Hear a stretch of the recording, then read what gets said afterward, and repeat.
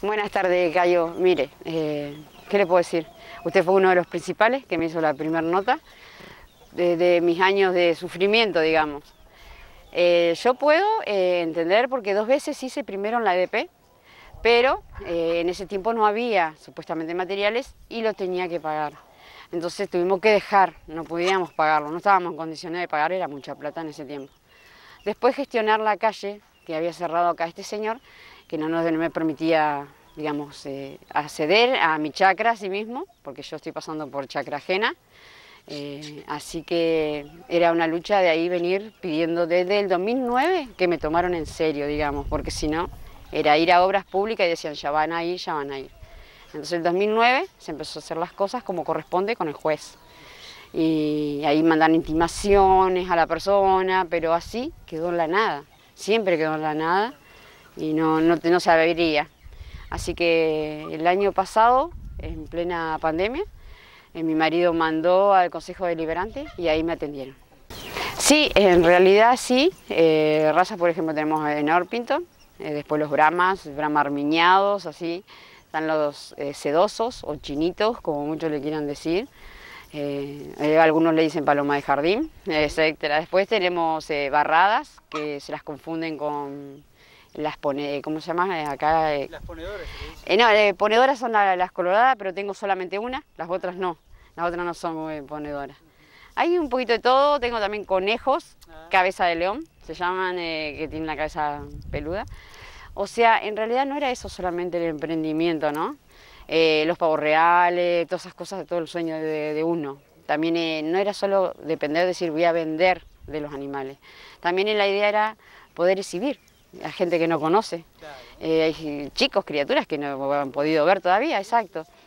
Y hacer, sí, un proyecto de invernaderos, obvio después tener más animales porque por algo son 16 hectáreas, ¿no? de poder producir para que digamos la familia, tanto mi marido, venga para acá y dejar de depender del sueldo de él, ¿no? Sí, sí, es elemental, muy lindo. Yo me, encantaría que los chicos vean cosas que por ahí muchos dicen, ¿qué es eso? Porque igual que los chinitos blancos, esa cosita peluda, hermosa, digo yo, y, no lo saben. Sí, eh, faltaría el camino elemental, porque hasta ahora, por ejemplo, creo que esto de lo de la luz va a a crecer y si viene gente empiezan a mucho preguntar, a, me pasa exclusive, eh, ayer me venía un remis que me mandaban regalos mucho y no saben cómo llegar y tener que, si no tendría que poner un cartel allá, prohibido pasar por esta casa y dar la vuelta, ¿no? Pero el intendente prometió que iban a venir los tubos y, tengo fe, tengo fe que lo va a hacer.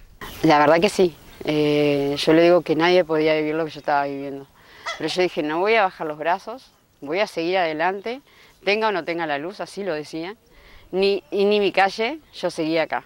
En mis condiciones seguía igual acá sola, porque mi hija se fue justo a trabajar, eh, está trabajando en Buenos Aires.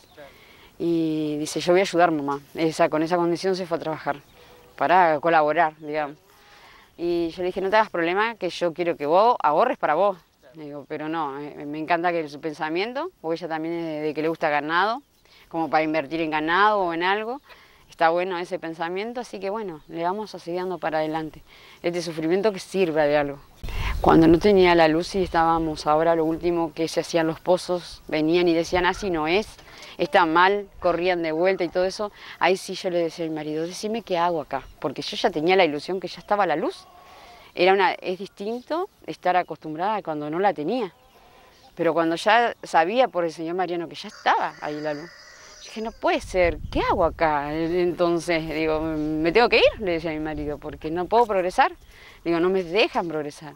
Yo puedo tener caseros, tengo esta casita, digamos, que en realidad no es eh, la idea de esa, pero eh, darle trabajo a alguien. Hoy, por ejemplo, hubieron gente que son los que me hicieron el corral, estuvieron, eh, hicieron, no tuve que pagarle. La forma de pagar es que ellos agarraron un calito, se hicieron palos que le hacían falta y ahí hicimos un cambio de, ayudarnos uno a otro. Exacto. seguramente va a haber trabajo para la gente también acá. Sí. Idea, ¿no? Ah, siempre alguien va a necesitar para que trabaje. Sí, elemental, elemental. Ahora de a poquito vamos a ver cuando ya se puede hacer eso, ¿no? Porque ahora justo está bastante complicado, sí. No, que no bajen los brazos, yo no lo bajé en ningún momento. así como dijo usted, que ni cuando me estoy sola sentada tomando mate, solamente miraba y estoy pensando en qué paso dar para poder colaborar y ayudar a mi marido y seguir adelante. Quiero, lo quiero acá, quiero mi familia acá. Seguro que lo Sí. Si Dios quiere. Ahora sí. Eh, la luz me va a ayudar un montón, que es lo que yo le decía. Era elemental no solamente para los animales, sino para cualquier ser humano, la comida del día a día. Abrir una heladera como cualquier y tener ahí, si quiero, mil leche o lo que sea. Sí, sí. Así que que nadie baje los brazos, que sigan luchando. ¿Eh? No, Cayo, muchísimas gracias a ustedes por haber estado siempre.